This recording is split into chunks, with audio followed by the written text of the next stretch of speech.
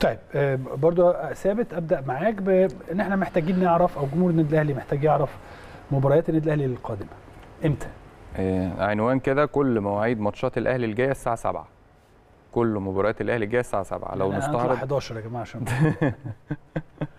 لو نستعرض الجرافيك بتاع جدول مباريات الأهلي معانا اهو آه، أول حاجة يمكن أول ماتش هيبقى للنادي الأهلي يوم الجمعة قدام فاركو يوم 14 6 الساعة 7 بعد كده عندنا الاتحاد السكندري يوم الثلاث يوم 18 6 الساعة 7 برضه.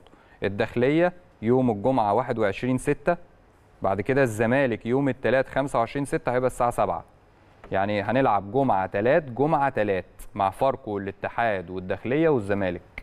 بعد كده فاركو يوم ال- الجمعة بعد كده الطلائع يوم الاثنين بعد كده الداخلية يوم الخميس بعد كده الطلائع بعد كده بيراميدز يوم الجمعة 12 7 آه. يعني انت بتلعب في شهر أقل من شهر من 14 تسع 6 ماتشات في 28 يوم. تسع ماتشات.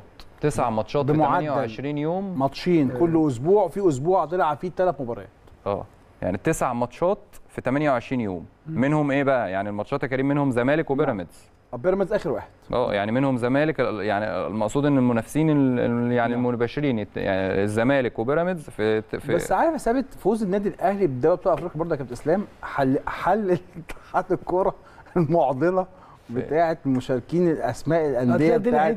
بتاعت دوري دلوقتي بتاع بيتكلم خلاص، ما هو أه خلص. مش ممكن يعني. واتحددت يعني فوز الأهلي الموضوع فوز الزمالك برضه ما الزمالك الحاج عامر الكونفدرالية حسين كان عنده معضلة كبيرة جدا آه. النادي الأهلي حلها له أهلي بيراميدز دوري أبطال أفريقيا الزمالك والمصري مصري كونفدرالية كونفدرالية. وخلاص وفعلا فير فير جدا. يعني أنت عارف طبعا نادي إنبي عنده بعض المتطلبات لكن بكل أمانة النتيجه إنبي- خلاص لا أمانة. المباشره إنبي كسب. عنده المصري كسب الدور الأول خلاص يبقى هو حقه إن هو اللي يلعب في الكونفدرالية السنة الجاية.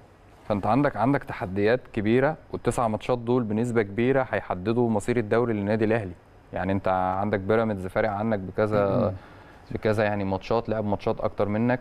فأنت عندك تسع ماتشات التسع ماتشات دول بنسبة كبيرة جدا تصل أنا وجهة نظري تصل إلى 80 90% هيحددوا إن شاء الله النادي الأهلي لو قدر يكسبهم. وهي منافسة أهلي وبيراميدز آه بصراحة. يقدر النادي الأهلي لو كسب التسع ماتشات دول بنسبة كبيرة إن شاء الله ناخد الدوري. ولازم ويمكن النهارده لسه الكابتن خالد بيبو قافل على الفرقة.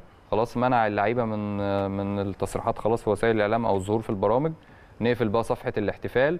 والتركيز في الفترة الجاية إن شاء الله يبقى في بعض المباراه وديه أو اتنين مثلا في الفترة الجاية.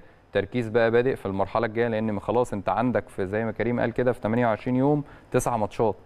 فعندك فترة صعبة مطلوب إن إحنا نركز فيها وبنكرر تاني إن كل الماتشات إن شاء الله هتبقى الساعة 7 آه بس بقى